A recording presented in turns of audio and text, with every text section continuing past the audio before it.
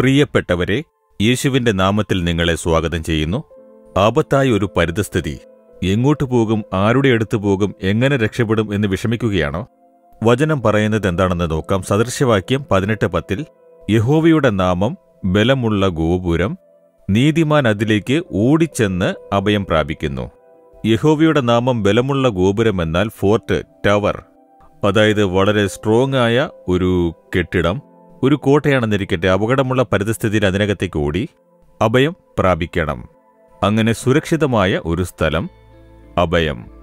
അതായത് യഹോവയുടെ നാമം ആപത്തായ ഈ പരിതസ്ഥിതിയിൽ പകർച്ചവ്യാധി കടന്നു പോയിക്കൊണ്ടിരിക്കുകയാണ് ഒരു ബാധ വന്നിരിക്കുകയാണ്. ഒരാപത്ത് വന്നിരിക്കുന്നു. ഇതുപോലൊരാപത്ത് വന്നിരിക്കുന്നു. എന്തു ചെയ്യുമെന്ന് ചോദിച്ചാൽ സുരക്ഷിതമായ ഒരു സ്ഥലം. കൊടുങ്കാറ്റ് കൊടുങ്കാറ്റടിക്കാൻ പോകുന്നെങ്കിൽ സാധാരണ വീട്ടിൽ കുടിലുകളിൽ താമസിക്കുന്നവരെ ഗവൺമെന്റ് സുരക്ഷിതമായ ഒരു സ്ഥലത്തേക്ക് കൊണ്ടുപോകാറില്ലേ? ഒരു സ്ട്രോങ് ആയ ബിൽഡിങ്ങിനകത്ത് കൊടുങ്കാറ്റടിച്ചാലും ഒന്നും സംഭവിക്കാത്ത സ്ഥലത്ത് നിങ്ങൾ ഇരിക്കണം സുരക്ഷിതമായിരിക്കുമെന്ന് പറയാറില്ലേ? അതുപോലെ ഈ ലോകത്തിൽ തിന്മകളും ആപത്തുകളും പോരാട്ടങ്ങളും വന്നുകൊണ്ടിരിക്കും പോയിക്കൊണ്ടേയിരിക്കും.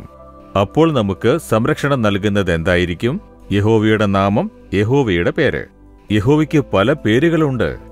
അവൻ യഹോവയിറയാണ്. യഹോവ ഷാലോം യഹോവ ക്ഷമ്മ യഹോവ റൊബൈക്ക. ഇങ്ങനെ പല പേരുകൾ ഓരോ പേരിനും ഓരോ അർത്ഥം. അവൻ ജയം നൽകുന്നവനാണ് അവൻ സുഖം നൽകുന്നവനാണ് അവൻ സമാധാനം നൽകുന്നവനാണ് എന്നെല്ലാം. അപ്പോൾ നിങ്ങൾക്ക് എന്താണ് വേണ്ടത്? ആ നാമത്തെ ആ നാമത്തെ പറഞ്ഞ് സ്തുതിക്കുമ്പോൾ യഹോവയുടെ ചിറകിനടിയിൽ സംരക്ഷണത്തിൽ നിങ്ങളിരിക്കും. ഇന്ന് നിങ്ങൾക്ക് എന്താണ് പ്രശ്നം? രോഗമെന്ന പ്രശ്നമാണോ? ഞാൻ നിങ്ങൾക്ക് പരിഹാരകനായിരിക്കുന്ന കർത്താവാണ്.